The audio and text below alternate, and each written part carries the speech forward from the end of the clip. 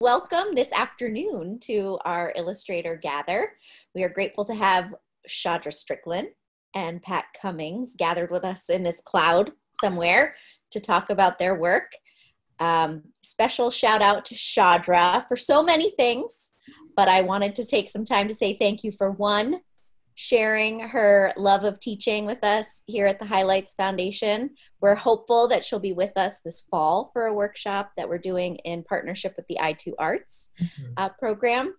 And also, thanks so much, Shadra. I think some of your MICA students are probably on here, but you were a big supporter for us um, with our internship last mm-hmm. summer, and you brought us Molly and Emily and Leanne, and we're so mm-hmm. grateful for that. And then, of course, for joining us for our uh, Illustrator Gathers. This has been so lovely um, to have you here. My pleasure. Thank you. And we're grateful to have Pat Cummings with us. Like Shadra, Pat is an author, illustrator, and teacher. And she's helped so many people grow in this community, um, in their art and in their prose and in just meeting don't, great don't people. Forget, don't forget the brownies. That helps. And people. the brownies. Actually, Pat is the person who introduced me to Shadra uh, a while ago at one of those great big SCBWI meetings. We were in a ballroom and she said, Come here, come here. I want to introduce you to somebody. And uh, that was really life changing. So thank you so much for that, too, Pat. Um, I was on bookshop.org today and I noticed that you can get your hands, all of you out there can get your hands on a copy of Our Children Can Soar, a celebration of Rosa, Barack, and the Pioneers of Change, which features both art from Shadra and Pat and 10 other awesome artists. Um, so if you're looking to purchase a book, bookshop.org is a great place. It supports your local bookstores and also, you can get your hands on a book with these two in the same book. That would be great. Um, I'll say again, thank you both so much for being here, and I'll turn it over to you. Awesome. Hi. Thank you so much for having us.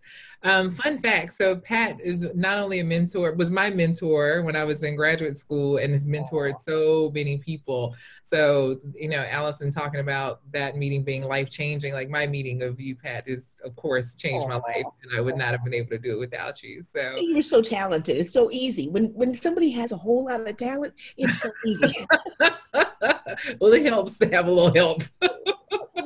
so how's the how's the uh, quarantine treating you? Okay, okay. Don't tell anybody uh, who many how many are on 117. Don't tell anybody. I love it. okay, because I've always said if I just have enough time to just stay home and get some work done, I'm not actually getting as much done as I thought. Uh-huh. I think everybody I've talked to is finding that it's not that easy to get work done yeah. for some reason in this environment. Your head kind of is like twisted, yeah. but um, I I I don't mind it. I don't mind. I mean, I think everybody needs to stay safe and stay indoors. For sure. So, you know, it's it's it's half uh, delight in being able to stay home and work, and half just fear of, of stepping foot outside. Yeah, for sure. Yeah, I talked to a friend of mine last night, and she was like, you know, you were made for this as an only child and an artist. Like, you don't ever need to go outside again. I was like, I am living my best life right now. you know, yeah. I mean, it's not it's it's not good in the sense that you there are things that had to be canceled. I see um, like Sherry May Golston, who I haven't met, who's in uh, in Albuquerque. We were going to do a workshop in Santa Fe that I had to postpone. So there's yeah. a lot of things that have fallen by the wayside. I know the Kweli conference was coming up. Yeah. Um, and so that is tragic. Yeah. Yeah. You know, you know um, but I think we're flexible in trying to figure out how to use technology, like in this instance, right, to support the community and try and you know bring everybody together still to talk about books and ideas. But it's a weird. I won't even say it's a new normal. It's it's just the new weird, and I think it's going to be that way for some time. So yeah, but think about it. You know, we are really fortunate. I mean, this is just like the self ad, right? We're really fortunate to be in children's books because yeah. we already have a sense of community yeah. and we have a really strong community that is already ready to band together. If you're a plumber, you're on your own. Okay. Right. You know, you're a bus driver, you're on your own. Absolutely. Even engineers, you know, I mean, maybe they have organizations, but I don't know if they really feel like getting together and chatting. Right. But even, you know, as an artist, being able to have an outlet, you know, I think we're all so grateful to be able to sit down and draw something during this yeah. time or make something during this time instead of just going stir crazy or watching TV. So I'm so grateful for our community and our our gifts and being able to share that with one another. So yeah. yeah. So what are you what are you working on these days? Okay, so Trace came out and I've oh. started reading Trace. I started your first authored middle grade. Yeah, first one, right? First one. Amazing. Congratulations. It's the first one published. Sheila and I, no, seriously, seriously, Sheila and I worked on a middle grade series for uh, Hyperion. We were working on six books. We both finished a book. Okay. I mean, we were we were deep into it. It took us about 17 years, right? I right. mean, Lisa Holton was the publisher, and she would keep coming in and saying things like, "Seriously, seriously." You know, another year. I mean, it was taking us a long, long time. And I think when we got to the point where we had like the frozen sorcerer, um, they shut it down okay. We had elves we had fairies we had ghosts we had aliens we had cross-dressing teachers you know and yes that, that one got shut down. I don't know why. I don't know why. how long did how long did trace take you? Oh my goodness. Trace took a good maybe 10 years in terms of the gestation because i count that. I count the time that you're spending thinking right? Yep. um, a long, maybe good 10 years ago, I think I saw something on Oprah mm-hmm. or I saw it in the news. I know I saw it on YouTube because I went and checked on YouTube about an accident that had happened. Mm-hmm. I'm really drawn to things that are mysterious or otherworldly, you know? Mm-hmm. And an accident had happened. A man had uh, driven his car off of a bridge into a river and it started to submerge. It was a late model car, and so it was electrical systems that wouldn't work, and everything shut down, mm. and the windows wouldn't go down, and he couldn't open the doors, and he couldn't get out, and the water was coming into the car, and he was going to drown, right. and he's kicking at the windows and stuff and trying to get out, and he can't get out. And at the very last minute, as the car was like almost fully submerged, somebody pulled him out through the window Mm. And when I mm. went on YouTube, I could see these guys in an EMT raft. There were two guys, and they like, and this guy bobbed up out of the water, and they pull him onto the raft. Right. Mm-hmm. Mm-hmm. When they pulled the car out of the water, the windows are still rolled up. Wow. Right. Right. Wow. Right. And so, I mean, and that just stayed with me. I just couldn't. um that's one of those stories that you just don't forget. Yeah. And so then um, I was working on that series with Sheila, and I started to do research for a story that just never got done about the um, about the uh, draft riots in 1863. Okay. Now here's the shocker, and I want everybody within the sound of my voice to hear this. Okay, I got misinformation on the internet. What? That what? doesn't happen. What? Everything is fact on the internet. What are you talking about? It was not. It was not the gospel truth. So what I saw on the internet was that the draft riots in 1863 happened. Um, angry white men who were being drafted and did not want to go, who felt that they were being drafted to go save slaves in the South, mm-hmm. and who had to leave their farms and their businesses and their families to mm-hmm. do so, um, were, were, rioting. And they burned down the colored orphan asylum. Okay. Okay. Orphan and asylum? Orphans, little kids, orphan asylum. Is that a thing? Is that a thing? It's a thing. Are it you sure? It didn't sound like a thing. It was a thing. Okay, okay, it's a thing. It was, a, it was a color asylum, children's okay. asylum. Um, and so they burned it down, and it was, according to the internet, on the site where they built the New York Public Library. so you know, you know, you know. With this little bit of misinformation, I just, I just went off. I just took off. So I went, well, there's bound to be a ghost. You got to have a ghost. Oof. Okay. And so the readings that I was doing, I found that there had been one child who was killed. Uh, only one. They got all the rest of the kids out, but one child was killed, and it was not from the fire. It okay. was uh, the, the crowd beat her to death, which was just horrifying. And I felt like this is a story that I want to dig into. Right. Um, and so, armed with that, in misinformation, and the bit about the guy going off the car, off the car off think why i don't know why your brains do what they do right uh-huh. but i thought these two stories will work together yeah and discuss. Wow. That's where I started like about 10 years ago. And wow. I thought, okay, I'll put this together. Betsy Bird, who was the librarian, the New, yeah. New York Public Library, the children's librarian, she said to me, nah, that didn't happen. and she gave me a tour of the stacks. And they're very spooky down there. It's very yeah. spooky underneath the public library, and it goes on for a whole block.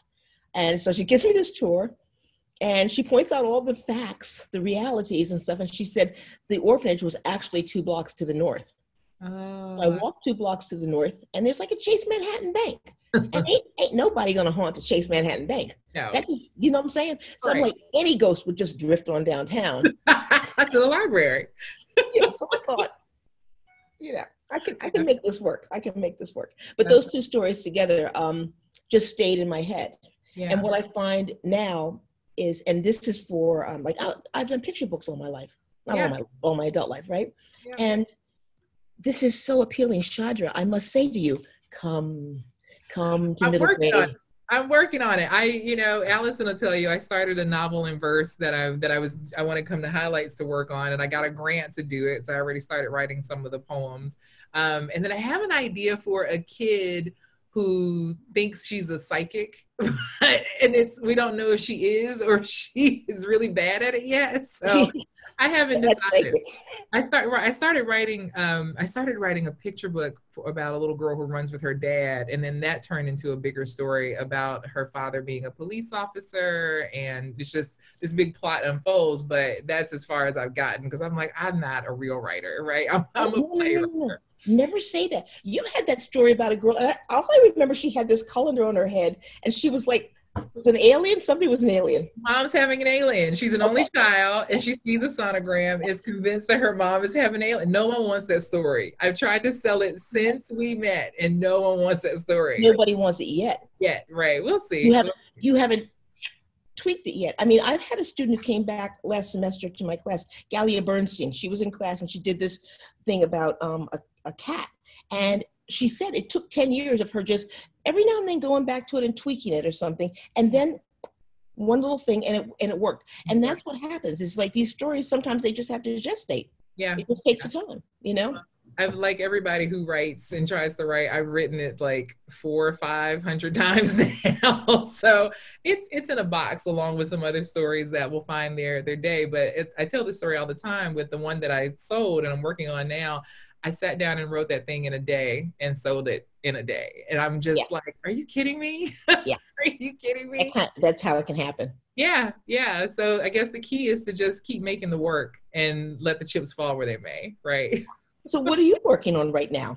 So I'm working on Jump In, my first author illustrated picture book, but I brought um, sketches for a book cover that I'm working on now. So I can show you all that. You want to see that? We can- Yes, we can please. see that. Yes, please. All right, let me let me figure out my um situation. Do this. This is technology.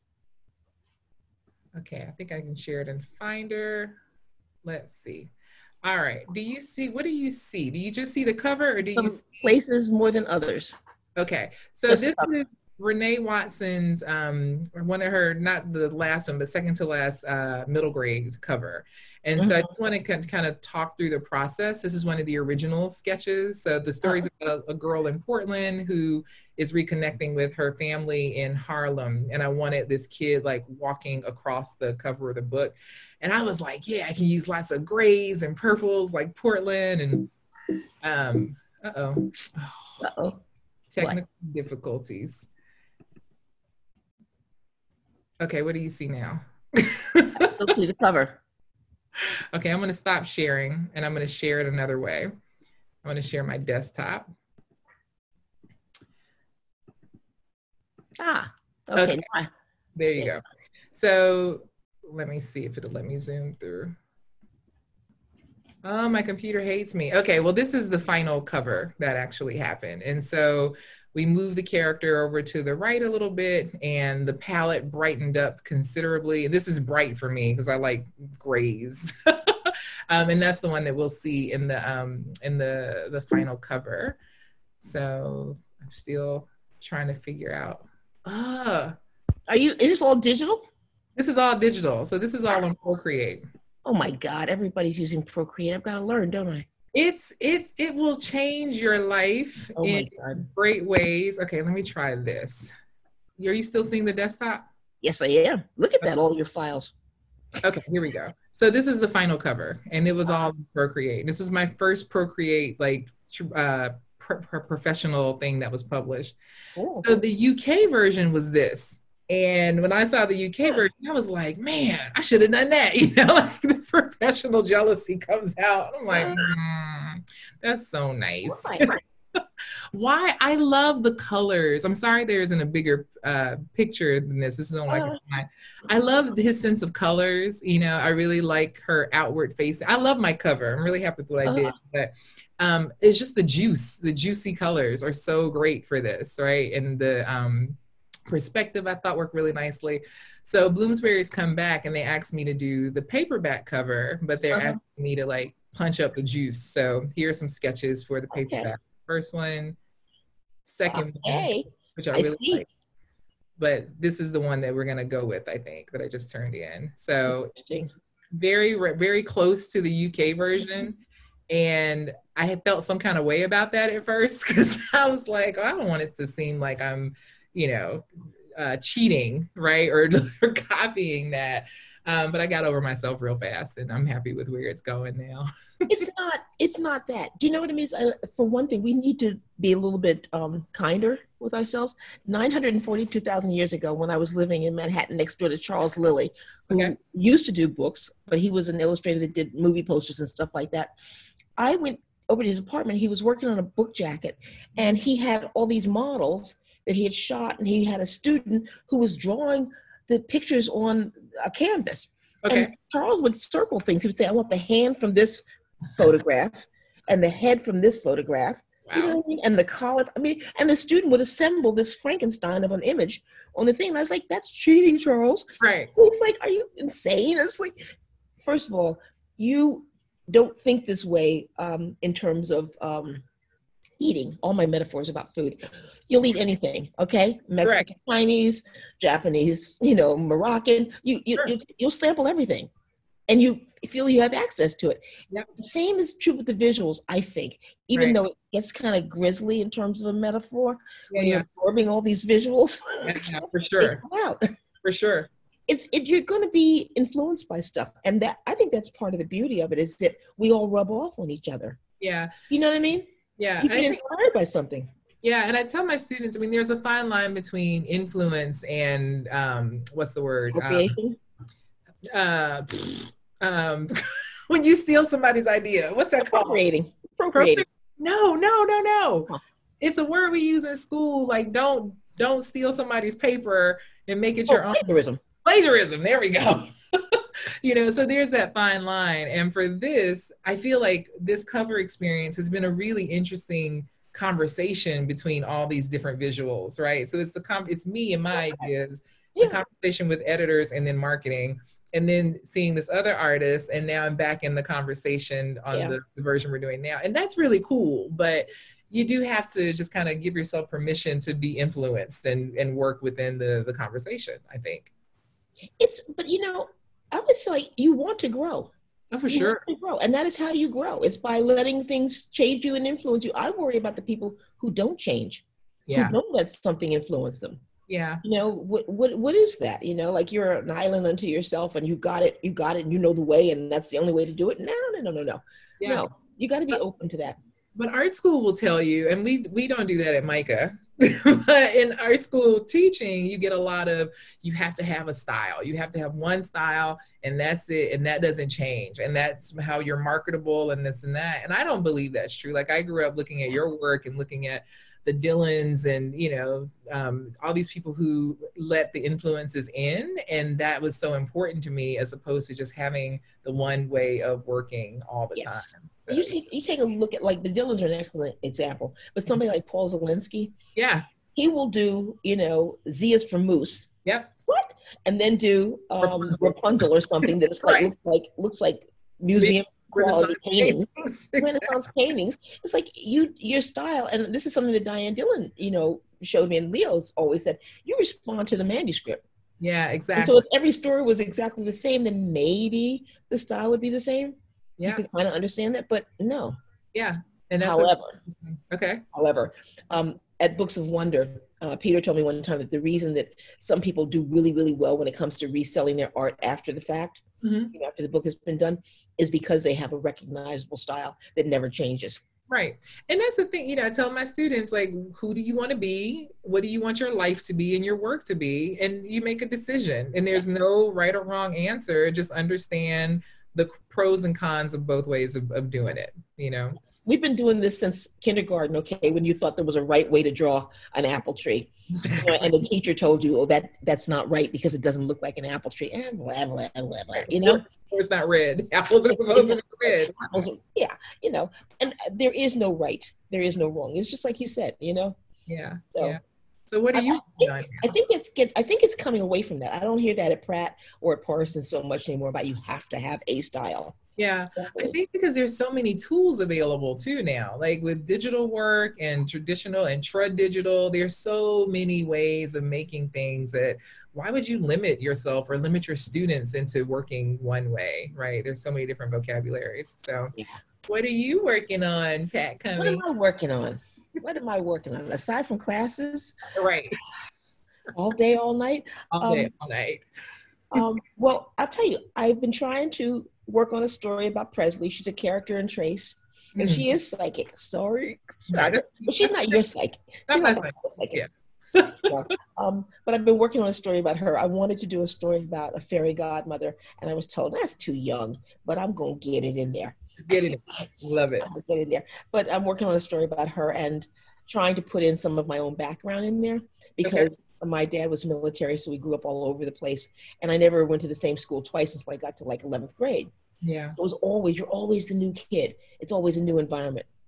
And I'm trying to put some of that in there um, because in Trace, there's a group of kids, and I want her to feel like at last I'm someplace I want to stay. I know I have friends now. I want to stay here. I don't want to move. And she's also older.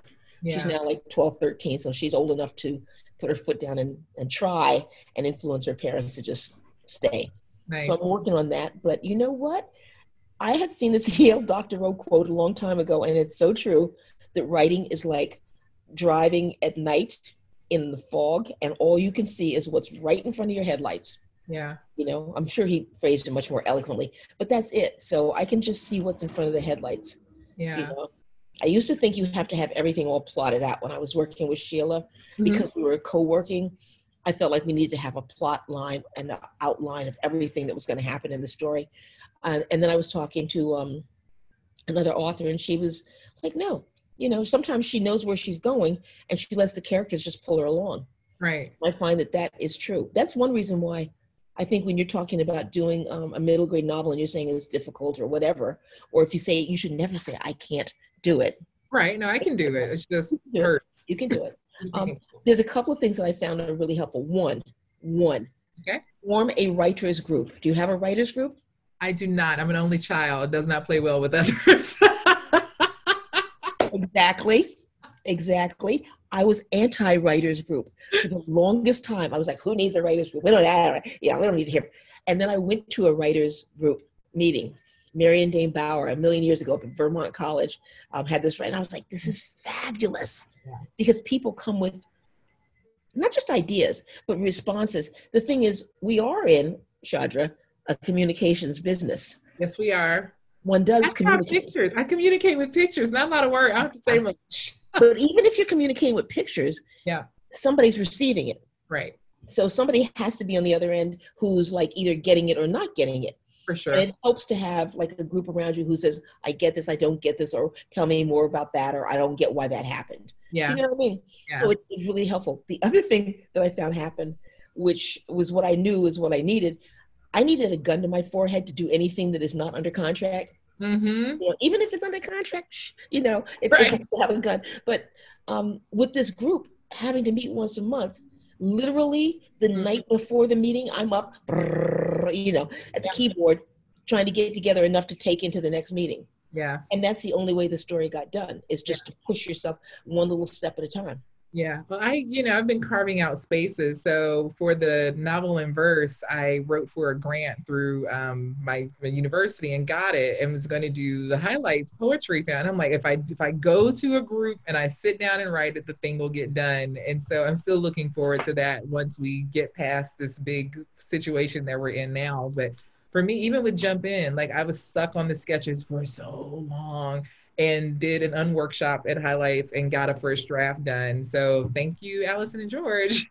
for making that happen. was that the one thing that just turned it around? I mean just having that time to yourself? I think so. Or giving myself like making this the place and the time where i'm going to sit with no interruptions and do it. And it wasn't, it was a first draft, so a lot of things changed, but it was something that I was able to be in conversation with my editors with after that, you know? And so then I went back and it was a little easier to, to go through the edits. But yeah, man, it's tough. How do you? oh, you know what? I gotta say, I took uh, my writers group to highlights for nice. one of the fun workshops. It was fabulous. They want to go back because if, if people don't know, you go out there, first of all, you're in the, the woods ish, yeah. mm-hmm. you're in a cabin, you mm-hmm. have to work. Mm-hmm. They give you fabulous meals. You see, I go back to the food. Yeah, same. These, these, the meals are incredible. There's snacks all over the place. Bad, bad, bad. Ice cream cooler, 24 7. S'mores, bad, bad. but all, aside from all of that, you're there in the woods with other people who are like-minded and are working on their books. So when you do come down for meals, it's you can talk about the process. Yeah. You can talk about things that help you really unstick yeah. if you're stuck on a plot, yeah. Know, a plot point or something. There are bears. Nobody mm. ever wants to talk about the bears. There are no bears, Pat. I have not seen a bear since I've been. I've been going there for years now. I don't know. No, they're bears. I know they're bears. People have seen bears. I have not seen bears. Nobody makes a point of it except for me, but they're bears. I tell the bears to leave me alone. There's also yoga. There's yes. also yoga. Yeah. You get a lot done. Um, and you do need something like that, a, a fixed time or place. I know that there are authors who, and writers and illustrators who say, I'm going to get up and I'm going to work from X amount of time, you know, like nine to 12, and I'm going to have lunch.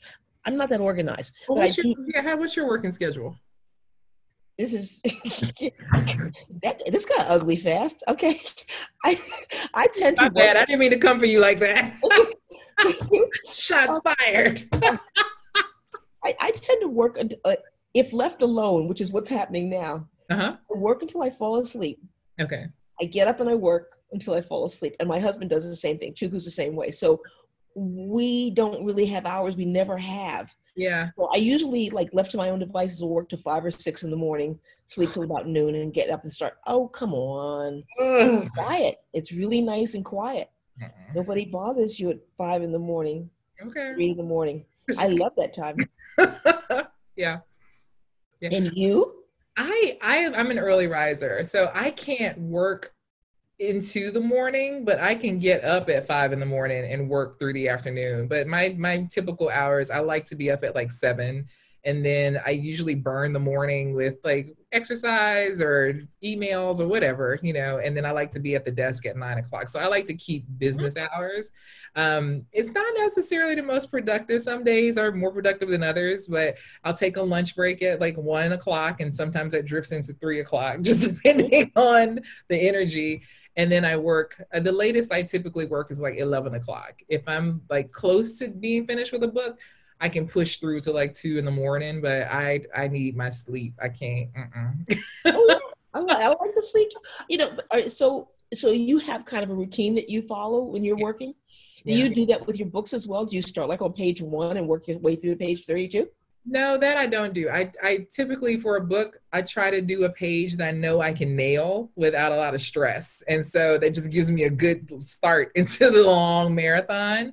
Um, and I jump all over the place and that's emotional response. Like, what do I feel like suffering with for a week or a week and a half or two weeks? So what about you? Do you do one through 32 or yeah, you- it's very scattershot. It's whichever one feels like you know, yeah. and then I'll work on several at a time because I might get bored with one and like move to another. Or it's very visceral and i find like i cannot write or even draw with distraction okay you know I mean I, I, can have some music on maybe in the background but no television or anything like that but when it comes to painting anything can go on because it's it's all gut you know what i mean it's like you're painting red and all of a sudden you need some olive green yeah yeah. You know, I might need some olive green and then suddenly think about another page that I was doing that needs some olive green too and go grab that. Yeah. Here's the thing. Two people one, I've seen Diane Dillon's how, how Diane and Leo would work, right? Diane will have like the desktop is so organized. The paints are clean. Mm-hmm. They're all lined up on the side. She can start at the top left hand side of the page and work her way down and across. And she said that's because her and Leo have passing it back. They had to be organized, right? Uh, yeah. Okay, okay, okay. Sure. But then by accident, not by accident, I saw James Ransome studio. Forget it. My husband said to her, to him, you know, it's she shouldn't have seen this. She should not have seen this. Because it's like it's like the studio of life. It's his uh-huh. whole garage. But he has his entire book up. He has like uh, these uh, not shelves, but little brads or something along the wall, so you uh-huh. can put the entire book up and see it all at the same time, which is what you really need. Yeah, you need to be able to see it. So I've put up like a humongous board, and yeah. I will tack all the pages up there so I can yeah. see like the characters are staying the same, or yeah. there's too much similarity here, or this palette is shifting, or whatever. Yeah, for sure, for sure. That's when I'm working. That's what that's when I'm working. Uh-huh. in my head, in my head, those boards are going up all the time. Uh-huh. You know, uh-huh. but, um, but, at the moment, I'm I'm only working on uh, the story about Presley. Okay. And, and there's a um, another story that I'm working on a picture book that I'm I can't get it I can't get it to move. I can't get it to move. One of these days, I gotta I gotta show you something now. Okay. Uh, this this uh, last book that I did, the last picture book, um, Where is Mommy? Uh huh I do want to share something. I want to share how that came about. Okay. And I, it's like a cautionary tale. cautionary tale for others. If I can do, um, if I can do uh, screen sharing now, this is going to get dicey. Okay, I'm going to warn everybody. Things could explode. It could just go pop, and then we're all we're all dead. Okay. So what I want to show you was this. Hold You see that? Yes. Okay. So I had this idea to do a um, book about parents that were missing because a friend of mine came to visit and brought um, her little daughter mm-hmm. and her granddaughter, who was about four or five years old. This was Eva. Okay, sweet little girl, mm-hmm. sweet little girl. And when they were leaving, because they're from England, when they were leaving, her dad gave her his phone number and said, "Put this in your shoe when we get to Kennedy Airport. If you get lost, give my phone number to the policeman and he'll find me. And she said that she did not need a policeman because she had this drawing that she had done of her parents. and so the policeman could just find her parents based on that. And it occurred to me just from that that um, from a kid's point of view, she's not lost. It's her parents who'd be lost, right? Right. Here was the mistake. Not the mistake. Here's here's the cautionary tale. I showed this to an editor and told her I wanted to do this book about a little girl who thought her parents were missing you know, her parents were lost. And she was like, yeah, let's do this. This was Holiday House. And she said, let's do this. And I was like, okay. And um, she said, what's the story? Well, there was no story. I, did, I, had, I had the drawing. That's all I had.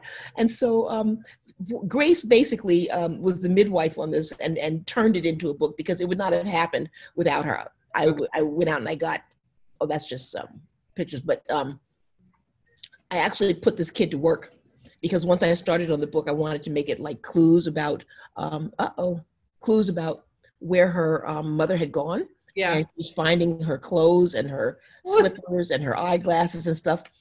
And so Grace said it would be really interesting to have as a um, end paper all the mm-hmm. clues a little girl finds. And I thought, how about we get the little girl to actually draw them? So it'll be in the child's hand. Yeah. Thinking of ways to make the kid work and not me have to do sure, another page. Sure. and so I got Eva, she was five at this time, to draw these slippers. And I gave her a hard time. I was calling her and like, that's what it's supposed to be green. It's not supposed to be all these different colors. And I need it in two weeks. And you need to hurry up because this thing is due. this is a five year old's drawing though? Yeah. That's so good. It's not bad. It's not bad. Um, but keep keep in mind that at this point in time, I realized I was tormenting a five year old who had to get to uh-huh. kindergarten. You they know, gotta learn though. They gotta learn. Start them early. but I used it like this, so that when she's finding all these clues, um, I only use the mother part because it's her mom that's missing. Okay. Okay, and so I only use the mother part. But I just got to say, the, what I learned from that, okay, it was that A, you don't torment little kids. You don't do that. I don't know how to, how do I stop sharing? Yes. Okay. You always, I've always admired your sense of color. Like your sense of color is just amazing. Like, fortunately, um, I've had the honor of being in your studio space and seeing your work and your paints that are all very beautifully put out. I'm like, how, how, how do you, what, how? I keep mine in bowls. It's like Dixie bowls, and they're all just kind of spread all over the place. Neither here nor there. I just, how do you think about color? Like, where do you think your color sensibility has come from and developed? I don't know. I, you know what? I'm like what we were talking about earlier. I'm so influenced by other people. Mm-hmm. I'll see something, and so when I am working, I'll have on my desk not just reference, mm-hmm. you know, um, for what I'm drawing, but color swatches, things that I've seen, and it can be anything. It can be a portrait of a house. There, you know, um, pictures of, of uh, flowers or you know people's clothes or anything like that but if i see some color combinations that i really like i think i'm going to use that there have been very few books that i set out to think of as a color statement yeah. like i know Taeeun, i was using her work in class Taeeun Yoo um, mm-hmm. as an example of how a controlled palette how effective it can be because uh, she works that way a lot of times and when i first met her and she had done little red fish um, it was so limited. The palette was so limited. I was like, I don't know, but uh-huh. it was uh-huh. so elegant, you know. Um, so I'm I'm always drawn to the idea that you can do something with a controlled color. The only book I ever did that with was C is for City, where okay. I gave myself an assignment on each page. So like this will be the yellow page, mm-hmm. this will be the blues and purple page. Mm-hmm. You know what I mean? So I actually gave myself an assignment. And the truth is, for everybody, I tend to think we need to do that. We need to give ourselves some sort of a challenge for every piece. Mm-hmm. Um, and and that was the only book that I really felt like is a color challenge. Yeah. So yeah. let's see if we can make up a color challenge for the audience. What what would be your color challenge assignment for everyone? Ah, my color challenge assignment. I love the way you throw these balls very quickly and hard. These are hard balls. I, know, I forgot. Well, I forgot to come up with an assignment this week. we were supposed ooh, to. Ooh, I'm gonna tell. Um, but no, actually, I think a color challenge would be a great thing to do because we're all, we've all had to shift gears, yeah. and I have a feeling that emotionally things have changed radically in the last couple of weeks because we're all being, you know, squeezed yeah. in one way or another. Um, and so I think maybe the color challenge today would either be to fight against it or to go with it. You know what I mean? To say the um, the lockdown colors. Okay. What do you think of when you're when you're in lockdown? But what do you think of when you're thinking of breaking out? Okay. What you, like two opposing kind of palettes. I like that. Let's you make know? it let's make it a hefty assignment then. So both of those. But, it, but it also should have like a twist and a surprise. Do you know okay. what I mean? It's like if you, if I think when people think about internalizing things and being locked down, you think about somber, dark colors. Right. Um, but what about a surprise to that? You know, okay. what about what about that one little ray of light in there? What kind of an image could you get where you have that ray of light, where light becomes such an important factor? Yes, I like. I'm writing this down. I love it. okay. I mean, it just it, uh, somebody um actually mm. actually was it somebody? Uh, it was somebody from class last night. Oh my goodness, could it have been Ashley? Because I see Ashley's on there. Um, did a piece that had this one ray of light streaming across a darkened um, setting. Okay. And I thought that was really effective, really effective. Yeah. Okay. I like it. Hmm. So maybe an illustration depicting a ray of hope. Can we say that? A ray of hope. A okay. ray of hope. And maybe you know no, about- just say, lighting is huge. Lighting is huge. It's the kind of thing that lifts your work out of the pile. Yep. When editors and art directors are looking at these promotional pieces that people send in, the elements that they are looking at are what makes your work unlike everybody else's. And lighting is going to be a huge one because a lot of people don't worry about it. They just give you full frontal lighting. Yeah. So how about we limit the palette to four colors or five colors? Should we be gracious and say five? I like four because it's like three colors with a bolt of light. Yep. Four. Right. four colors. That's your challenge. Four colors and a ray of hope. Boom. My bam. do we have questions? yes, we do have questions. And we'll review your challenge at the end we go. That was great the, challenge though. A long thought out, well developed. Right. We've coordinated several meetings to get to that challenge. how it goes. How it goes. So I'm going to try and get to, to as many questions here as possible. Um, I'll probably focus in on the ones that are directed to the two of you first and then kind of go from there. Um, so one of the questions is, Can Pat and Shadra share their favorite mediums? Also, what is Procreate, which was asked like 75 times. So there you go. Procreate. my, my iPad. Okay, I'm going to walk you back into. This. I need Procreate. We all have. We're all going to learn it sooner or later. This is kind of like. Uh, you know, what is that invasion of the body snatchers? You fall asleep and you wake up and you're one of them. Look at that. She's on her rolling chair. Are you on your rolling chair? I'm walking. Oh, you're walking. back to my studio. I hope my internet stays. So Procreate is an iPad app. Um, and similar to Photoshop, it will allow you to um, just draw and paint in layers. I don't have anything, let's see, one of these sketches. It would be easier if I was able to airdrop this to you um, or whatever. What can I do? So there you can see all the layers, um, just like in Photoshop and drawing paint, but it's essentially um, drawing with an Apple Pencil, which is back there directly on the screen. So kind of like a Cintiq, which is a larger surface screen that's digital that you can use Photoshop with. But it's just, it's cheaper. It's like 30 bucks for Procreate. Um, you, it works with Photoshop um, and it allows me to work on my couch. but my favorite medium is still like watercolor and gouache. I love watercolor and gouache.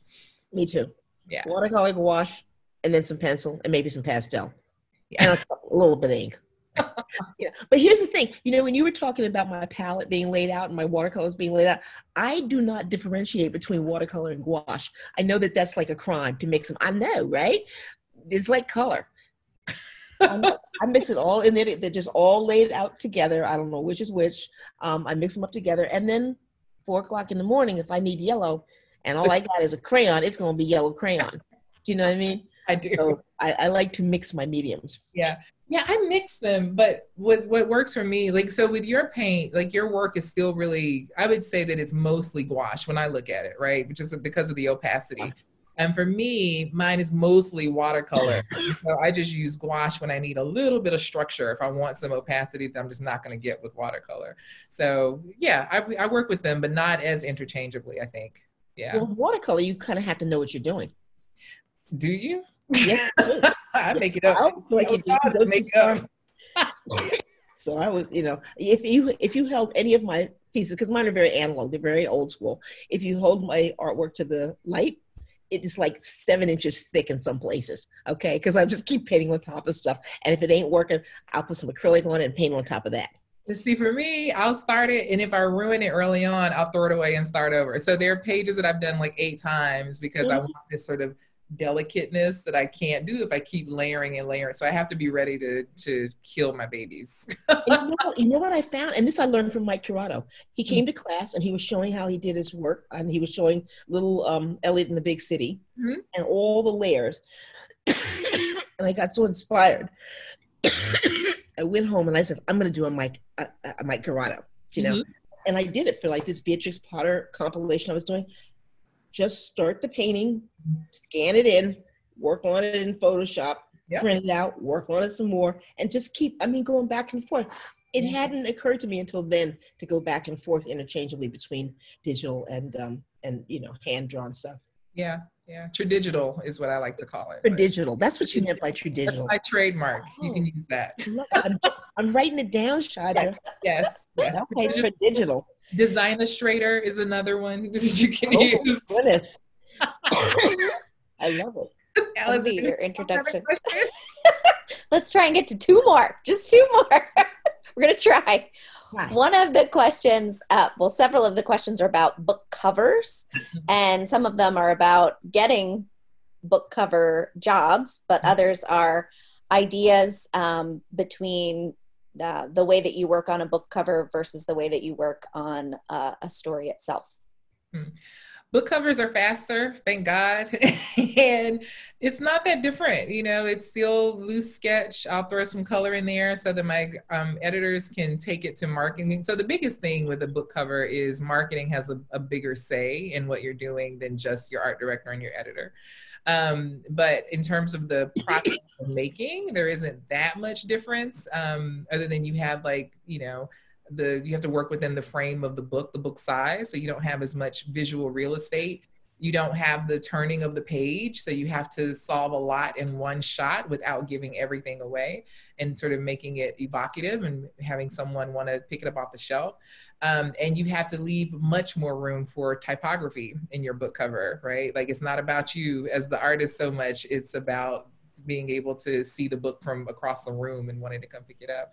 Um, how do you get a book cover job? It, it's happened organically. I didn't start getting book covers until people knew me as an illustrator and um, asked. but yeah. if, you, if you want to do book covers, I would have those so samples like that in your portfolio. Like a good assignment for yourself would be to um, take a book that's well known, well, or maybe not even well known, but an older book, like much older, like think 19 older and um, illustrate the cover you know and set the type and have that in your in your portfolio i would say exactly the same thing i would say take a classic something that everybody already knows the narrative, Lord of the Flies, something like that. Because if they can see how you think um, when you do a jacket and how you'd bring something to it, um, the next person wouldn't, then it'll be striking. But I think Shadra's point is really the key thing to keep in mind. It has to be something that would pull somebody across the room. The mm-hmm. cover has to draw them in and mm-hmm. tell enough, but not too much of the story. Yeah. Enough to be provocative, give yeah. a sense of what's coming. Yeah. Yeah. Nice. So, our last question um, several people asked about grants for writers and illustrators. Both of you work um, in lots of different organizations, you work with students, and perhaps you yourself have even applied for some grants or um, as a writer, as an illustrator. Mm-hmm. Um, what's out there, and, and what are your experiences like with, with that? Oh. Never gotten a grant, never applied for one. so that's well I, I, teach at um, MICA at Maryland Institute College of Art, and they offer faculty grants for projects that you're working on. And so you just apply, and it's um, essentially um, I show some samples and give a little bit of information about who I am and my history working in the industry, and um, talk a bit about the project to um, how how will it contribute to your field in an interesting way? So that's through mica. But through like our organizations scbwi offers lots of grants for works in progress. I know the highlights foundations offers grants and scholarships for people coming um, to workshops and things like that. So i would start with your your your book organizations whatever the organizations are that you're already active with like research a little bit and look for grants within the kidlit community. Yeah. Good answer Thank you. Any other questions? Any other questions? There are several other questions. Unfortunately, I don't think we'll be able to get to them all, but um, can I put one thing in?